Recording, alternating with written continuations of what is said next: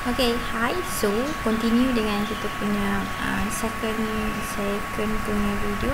Second punya video kita akan tengok uh, tutorial. So, where you want to put the array, macam mana nak buat. Uh, kat sini saya tunjuk. Tadi saya cerita je kan. Hmm. Okay, so kita ada Okay, contoh kat sini kita ada dua kelas So, the first class macam biasa kita buat Kita ada kelas biasa uh, contoh kat sini saya punya kelas adalah class person. Right class person ada ini which is semua apa kita panggil ni? Uh, attribute dia. So ini semua saya set private.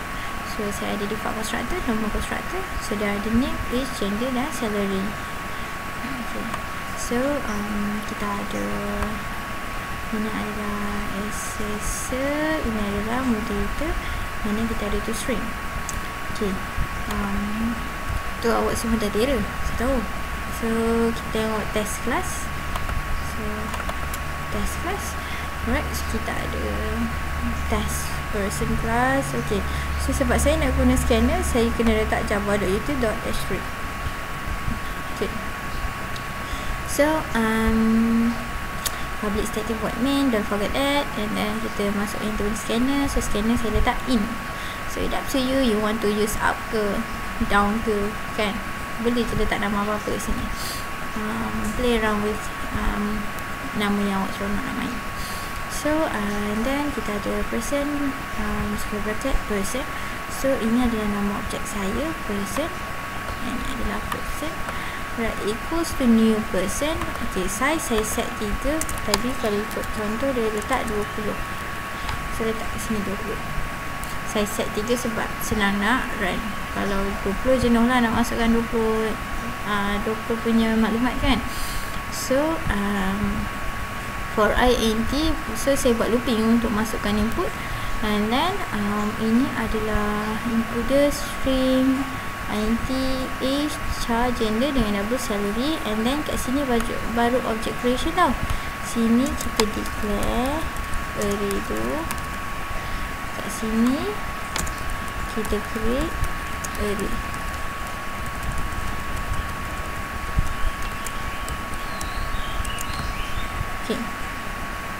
so um, kita dah create array baru kita boleh display array tu. Uh, So kita display apa yang kita dah masukkan tadi tu. Alright So uh, yang ini adalah uh, Loops to compare the age. So kita nak tengok siapa yang tua Siapa yang muda Dekat dalam array tu. So um, Kalau kita run Kan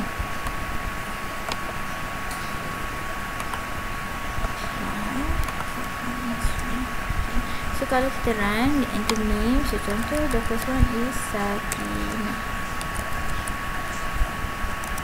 Okay jadi Sakina. Alright no never mind. So age dia adalah the first one saya letak 18. Let's say. So uh, gender saya letak female. And then salary contoh dia gaji dia 1200. Okay. So second orang orang nombor 2 saya letak uh, Yuna.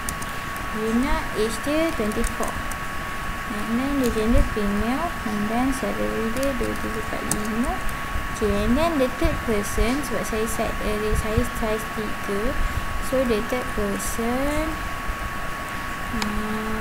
June And then age is um, 16 And then gender is male And then salary dia sistem Okay So dia print out kan objek tu. Okay ini Kenapa dia keluar objek one? Ha, Sebabnya masa saya saya display dia Saya tekan Saya buat dekat dia punya ini. Saya buat sini objek one. So how nak nak keluarkan array cantik Cara dia Kau buat macam ni D plus 1 So dia akan keluarlah benda tu. Cek nombor berapa Nombor berapa.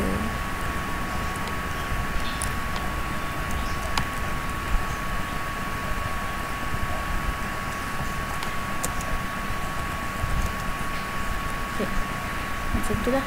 Right. So uh, ini adalah Kewa objek dia. 1, 2, 3 kan kita masuk yang tiga objek tadi kan. And then dia compare kan dia juga kata the oldest person is Yuna which is true age dia 24 and then the youngest person is June which is age dia 16 so itu array of object seronok kan?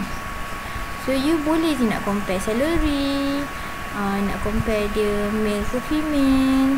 Semua manipulate dekat sini je cara dia get get apa? Contoh get salary kita tu lah kat sini get salary. Kalau um, kalau gender get gen nak macam tu lah. Ya semua based on uh, kelas ini. Kelas ini basically sama dengan yang awak dah buat before cuma kita tukar je kat sini sikit je. Kita tukar sini ada declare array sini ada create array. Lepas tu dia ada looping. Macam tu je lah. Ha. Okay hope you enjoy it. So uh, saya bagi soalan nanti buat. No worries saya bagi insyaAllah saya bagi yang awak boleh buat punya. Sebab saya tahu buat sendiri ni susah. Hmm, but I know you can do it. yeah